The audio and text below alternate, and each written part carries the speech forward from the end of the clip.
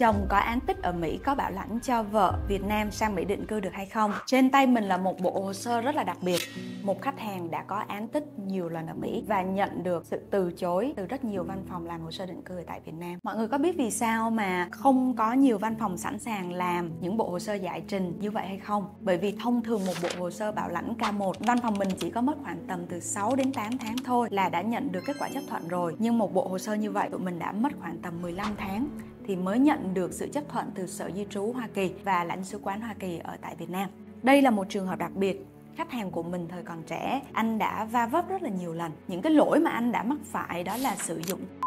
tàn trữ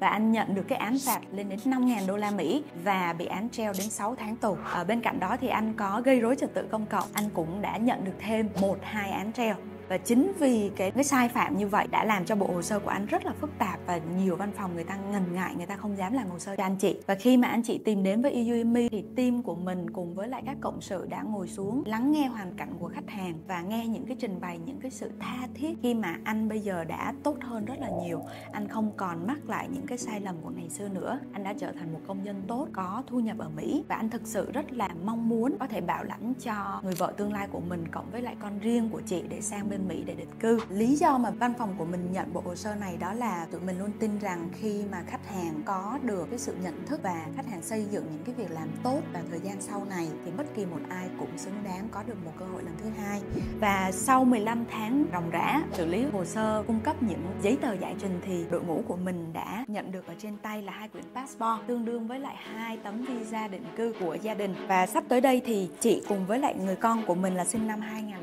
2009 thì sẽ sang bên Mỹ để được định cư và đoàn tụ với anh. Và hiện tại thì anh cũng đang ở Việt Nam. Và khi nhận được cái kết quả hồ sơ như vậy thì gia đình hết sức là vui mừng và không ngờ rằng một bộ hồ sơ khó như vậy và cuối cùng cũng nhận được kết quả chấp thuận. Nếu như các anh chị chúng ta có người thân, trường hợp tương tự như vậy, được coi là một bộ hồ sơ khó thì chúng ta cũng đừng vội bỏ cuộc. Hãy cố gắng để giải trình, tìm kiếm được những cái logic trong hồ sơ và quan trọng nhất. Các anh chị là người như thế nạp thì chúng ta sẽ nhận được sự xem xét và các anh chị có thể liên hệ với lại Yumi để nhận được tư vấn kỹ càng nhất để xây dựng một bộ hồ sơ và quan trọng nhất là sẽ được đồng hành từ ban đầu cho đến khi các anh chị nhận ở trên tay tấm visa định cư cho gia đình mình.